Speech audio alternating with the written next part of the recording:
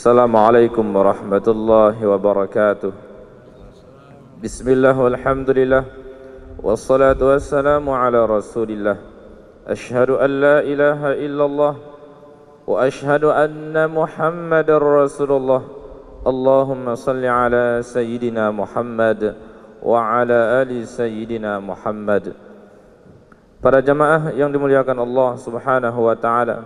Kita lanjutkan bacaan hadis kita dalam kitab Riyadus Salihin sekarang pada bab tentang muraqabah atau merasa selalu diawasi oleh Allah Subhanahu wa taala.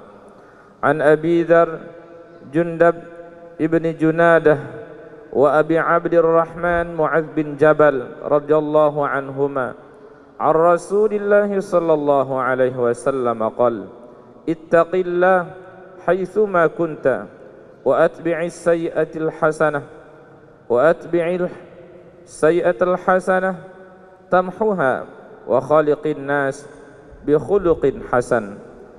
رواه الترمذي وقال حديث حسن.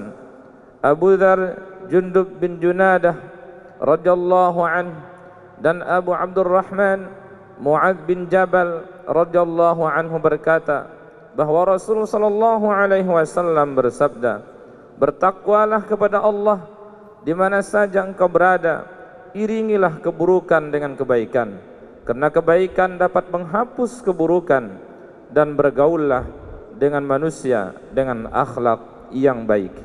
Hadis riwayat Tirmizi ia berkata hadis ini hasan.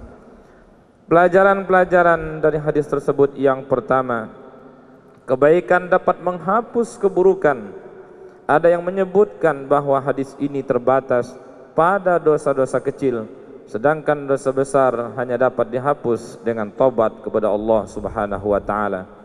Pelajaran yang kedua, menghindarkan keburukan dari orang lain, memberikan kebaikan dan memperlakukan orang lain dengan baik adalah bagian dari akhlak yang baik.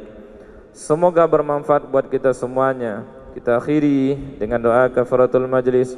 Subhanakallah bihamdika. Ashhadu an la ilaha illa anta.